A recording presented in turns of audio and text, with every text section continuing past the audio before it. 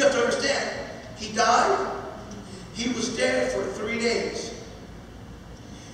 He gave us his death, and his death provided judgment, provided the sacrifice for judgment, where he dealt with the wrath of God. He gave us his body, which provided healing for us. He gave us his blood, which provided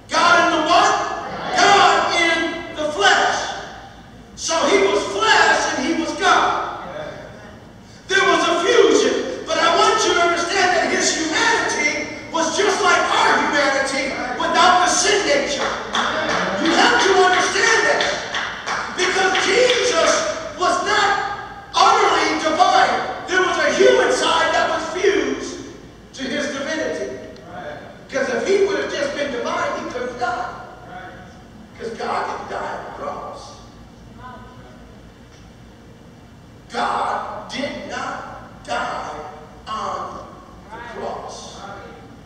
And understand when Jesus was here,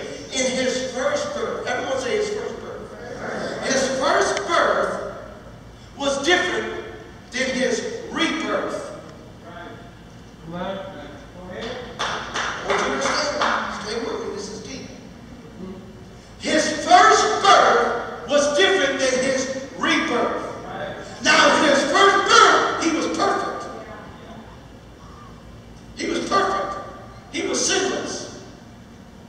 But he was born.